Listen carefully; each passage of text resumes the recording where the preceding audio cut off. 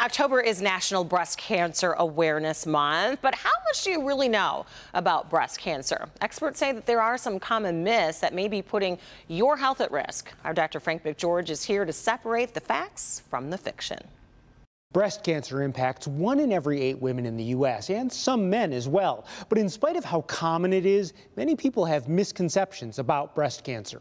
I just, I felt something and I thought, huh, it was real tiny, but it just felt different. I just didn't think anything of it because of my age, and I found blood in my bra. Kristen and Roshani are two of the 3.8 million breast cancer survivors living in the United States.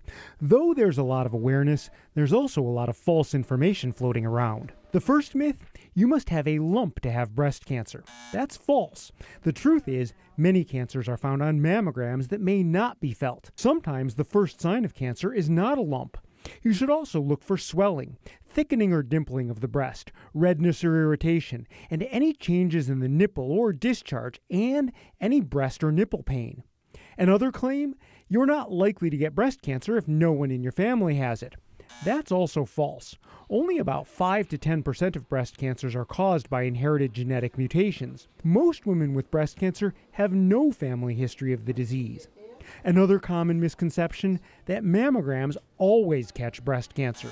That's false. Studies show mammograms miss about 20% of breast cancers at the time of screening. Having dense breast tissue makes cancer more difficult to spot with a mammogram alone. It just makes it more difficult for the radiologist to pick up any uh, smaller uh, tumor if it's present there. You may have heard that a mastectomy is always better than a lumpectomy, but this is also false in many cases. Recent studies have shown survival after a lumpectomy combined with radiation is equivalent to that of a mastectomy for most early stage breast cancers. Now, other common myths bras with underwire, nipple piercings, and deodorant can cause breast cancer. There is no scientific proof that any of those will increase your risk.